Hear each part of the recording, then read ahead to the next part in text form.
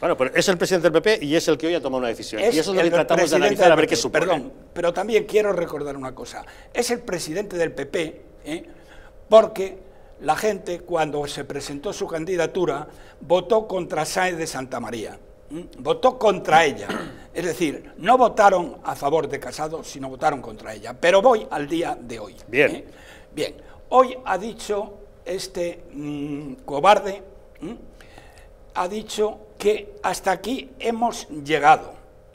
Han engañado a nuestros electores y ha refrendado, tú mismo lo has dicho, la gestión de Pedro Sánchez.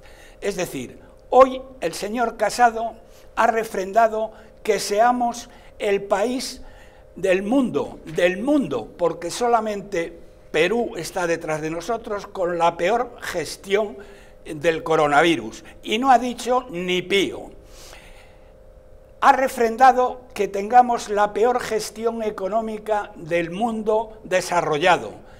Eh, según el FMI, estamos al nivel de gestión económica de Venezuela y según la OCDE, somos el país desarrollado que peor hemos gestionado la pandemia. Y de esto no ha dicho ni pío.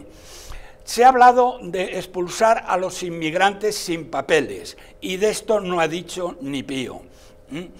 Eh, eh, se ha dicho, entre otras cosas, que había que acabar con el sistema autonómico, que es la ruina de este país. Y no solamente no ha dicho ni pío, sino que lo ha defendido con uñas y dientes. A ver cómo coño vas a sacar a España de la quiebra con el sistema autonómico en marcha. A ver cómo lo haces. Bien, más cosas. Y hay una cosa muy particular que quiero señalar aquí.